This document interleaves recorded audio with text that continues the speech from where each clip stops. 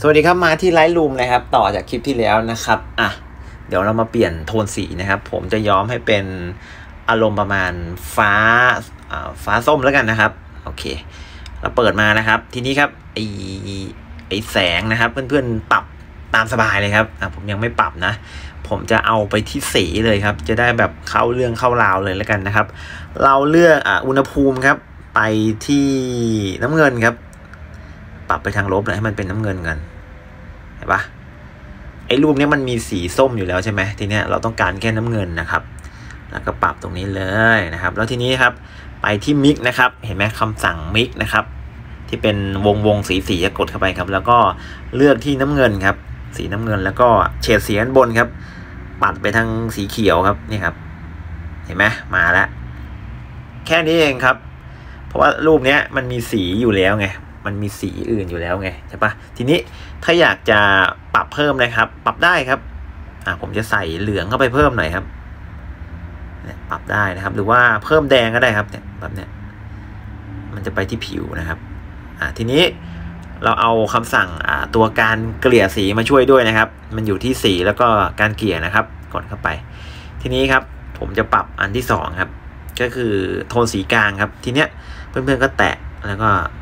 ไล่เลยเพื่อนๆจะเอาโทนไหนครับ เอาเขียวไหนครับ ผมเอาไปทางเนี่ยเห็นปะเห็นวงวงป่ะอ่านี่ชมพู มาแดงเห็นปะหน้าแดงละแดงละอ่าเหลืองเหลืองละเหลืองละเขียวอ่าเขียวละฟ้าอ่าเขียวเขียวหน่อยแล้วกันนะอ่าหดเข้าไปตรงกลางๆหน่อยนะครับอะปุ๊บเขียวแล้วเห็นปะ แล้วก็อีกอันหนึงครับ อีกอันหนึงเอาเป็นไฮไลท์นะครับ ไฮไลท์เอาไปทางไหนดี เอาเป็นสีส้มแล้วกันครับ ไปทางส้มผสมสองสี เห็นไหมเพิ่มให้ส้มมันสดขึ้นนิดนึงครับ อะ ได้ครับ หรือว่าจะปรับ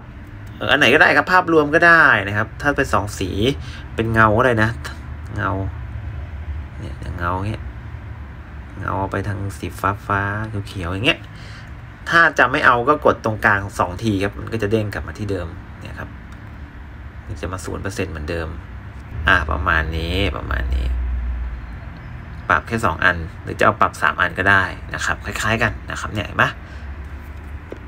เริ่มเริ่มแล้วทีนี้ก็อาจจะปรับไอตัวน้ำเงินกลับมาหน่อย เมื่อกี้มันเยอะเกินไปประมาณนี้ครับ แล้วก็ไปปรับไอตัว สีเนี่ยสีน้ำเงินเนี่ยลดลงมาหน่อยก็ได้ ไม่ต้องให้มันเขียวมากนะครับ เดี๋ยวมันจะโดดเห็นไหมครับ สวยแล้วทีนี้ค่อยมาปรับอ่าไอเรื่องของแสงนะครับ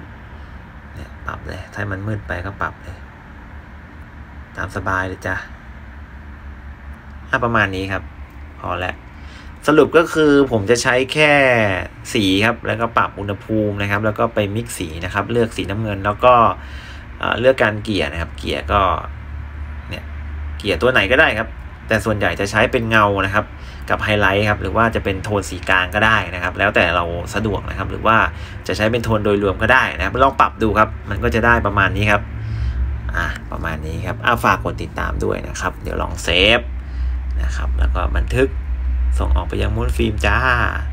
โอเคครับฝากกดติดตามด้วยครับ สวัสดีจ้า before after